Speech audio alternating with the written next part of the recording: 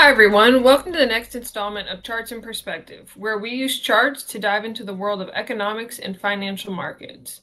I'm Jennifer Nash, an economic and market research analyst for VettaFi.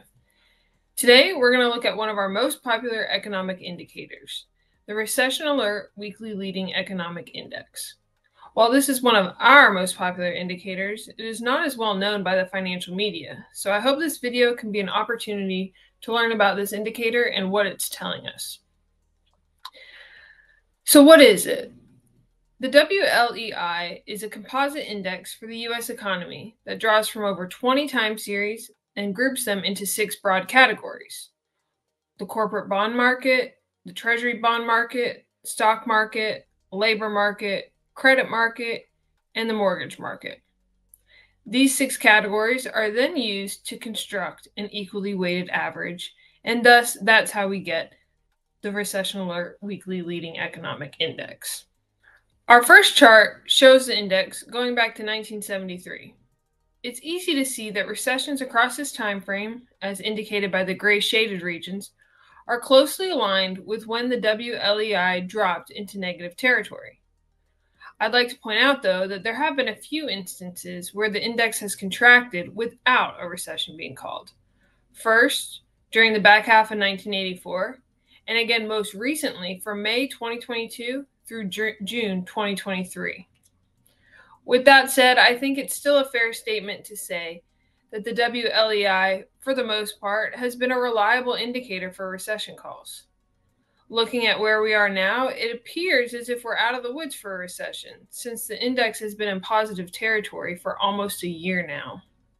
Now, for another perspective, let's compare the index with GDP growth. Again, for the most part, we can see that negative GDP and slow economic growth tend to be matched by the WLEI turning negative. As I explained earlier, the WLEI is a composite of six broad categories for the US economy. But what would happen to the index if we were to exclude one of the six components? This next chart here shows the index. However, all stock market components are excluded from the calculation. So how does this compare to the headline indicator? Here we see that the stock market exclusion typically pulls the headline index down. In the four and a half years that we have data on both series, the WLEI stock exclusion series has been lower than the headline series 76% of the time. It should come as no surprise that during the bear market of 2022 is when the stock exclusion was higher than the headline series. Now, in this last chart, I'd like to make one more comparison. I've zoomed in our timeline to begin at the turn of the century and added in ECRI's weekly leading index. You can see that both indicators generally move in the same direction, but the recession alert index is the less volatile of the two. As you can see, the ECRI indicator has repeatedly shown visible contractions between recessions, enough to make an erroneous recession call.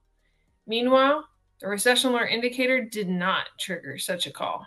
To close out, I'd like to note that this weekly indicator can be somewhat volatile and is subject to multiple revisions, which is why I try to avoid diving too much into the actual data points and try to focus more on the big picture of this indicator.